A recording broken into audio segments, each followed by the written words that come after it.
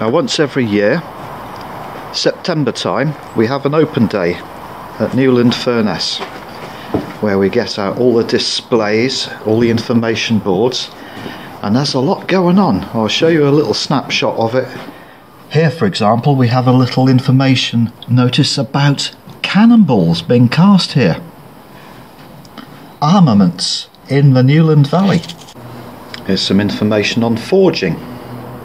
And there was a rolling mill just up the valley.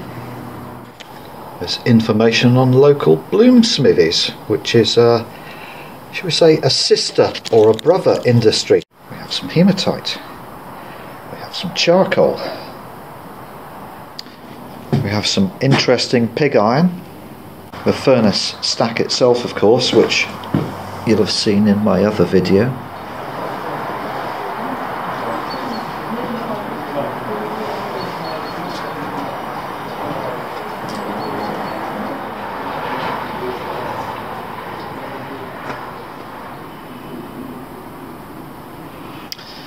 Yes, every September we have a Heritage Open Day whereby we take visitors round and show them the works, the site, and of course we've got, we've got all the artifacts and uh, information boards laid out in the charge house up above.